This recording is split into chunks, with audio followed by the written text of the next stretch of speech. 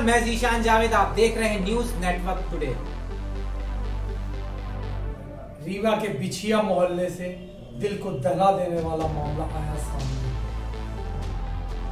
अपनी सहेली को बुलाकर नजदीकी रिश्तेदार भाई से दुष्कर्म की वारदात को दिया अंजाम। महिला थाने में हुई शिकायत के बाद दोनों आरोपी गिरफ़्तार, उनसे फ़िलहाल पूछताछ जारी। सहेली को बुलाकर रिश्तेदार भाई से दुष्कर्म की घटना को दिलवाया अंजाम। बिछिया मोहल्ले का मामला, महिला थाने में शिकायत के बाद दोनों आरोपी गिरफ़्तार।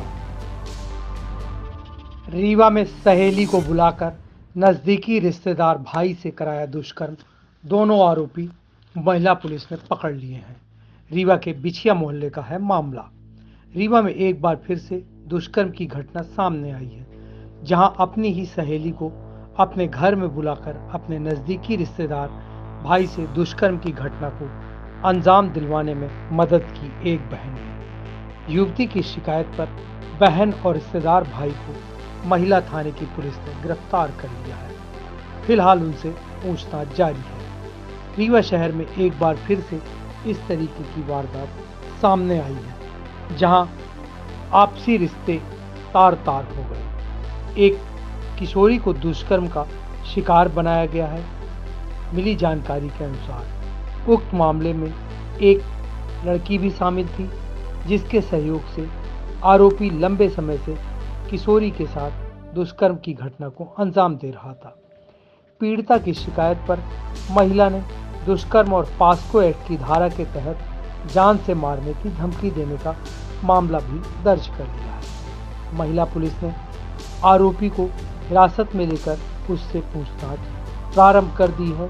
फ़िलहाल दोनों आरोपी महिला पुलिस की हिरासत में हैं। बिछिया थाना क्षेत्र की रहने वाली एक लड़की को झांसे में लेकर साकेत परिवार की एक लड़की ने आरोपी नज़दीकी रिश्तेदार भाई से दुष्कर्म करवाया था। पीड़िता की शिकायत पर आरोपी और सहेली के खिलाफ मामला दर्ज किया गया है।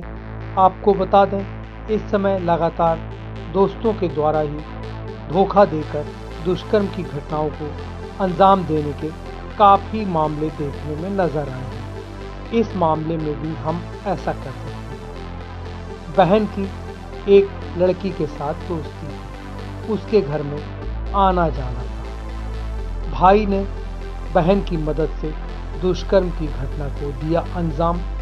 रीवा एसपी नवनीत भसीन ने पत्रकारों को जानकारी देते हुए बताया, दोनों आरोपियों को महिला थाना पुलिस ने गिरफ़्तार करने में कामयाबी पाई है। उनसे पूछताछ की जा रही है। हमारे पास शिकायत आई थी, बिछिया के रहने वाले साकेत परिवार का मामला था।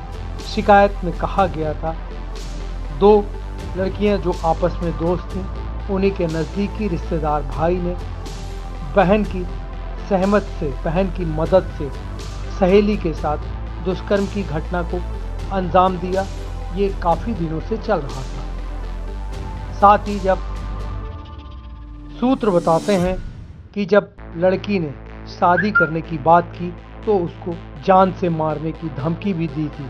पुलिस ने कई मामलों में, पास्को एक्ट सहित कई मामलों में इन दोनों के खिलाफ अपराध पंजीबद्ध किया है।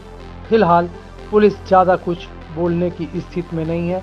पुलिस का साफ़ तौर से कहना है, अभी हम पूछताछ कर रहे हैं। जो भी ताज़ा अपडेट आएँगे, वो हम आप तक शेयर करेंगे। पूरे मामले को लेकर हमने रीवा के पुलिस कप्तान नवनीत भसीन से बात की।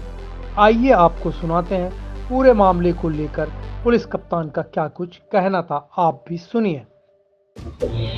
बिछिया थाना क्षेत्र में एक बच्ची ने आके जब घटनाक्रम बताया था। महिला थाना ने तत्परता से उस पर कार्रवाई की और न सिर्फ़ मुख्य आरोपी को अरेस्ट किया है अपितु उस बच्ची ने जो बताया था कि जिस लड़की ने सहयोग किया इस घटनाक्रम में उसको भी पुलिस ने महिला थाना ने राउंड अप किया है और अभी स्टेटमेंट लिए जा रहे हैं और जो भी डेवलपमेंट होंगे उसके अनुसार विवेचना में कार्रवाई की जाएगी। अभी उसकी पूछताछ महिला थाना प्रभारी इनसे बातचीत कर रही हैं। डिटेल अभी तक शाम तक आएगी वो आपको अपडेट करेंगे। ताज़ा तरीन खबरों के लिए न्यूज़ नेटवर्क टुडे से जुड़े रहिए, चैनल को सब्सक्राइब करिए और बेल आइकन दबाइए और देखते रहिए न्यूज़ नेटवर्क टुडे।